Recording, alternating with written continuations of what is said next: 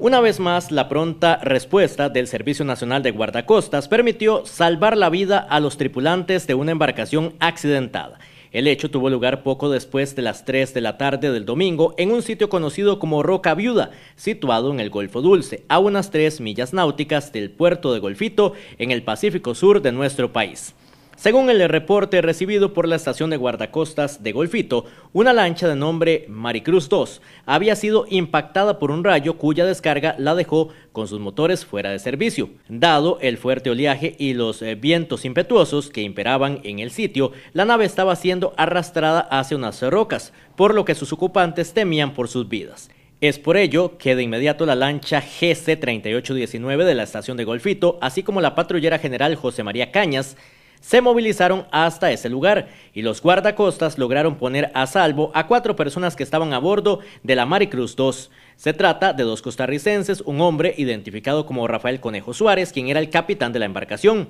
e Irma Barbosa Alvarado, quienes viajaban junto a un adulto y una niña, ambos de nacionalidad suiza. Las acciones de salvamento no terminaron ahí, pues un grupo de ocho personas, entre ellas seis suizos y dos costarricenses, estaban esperando ser movilizados por la Maricruz 2 cuando ocurrió el accidente, por lo que el personal de guardacostas también acudió en su auxilio. Finalmente, los 11 náufragos fueron llevados a salvo hasta el muelle principal de Golfito.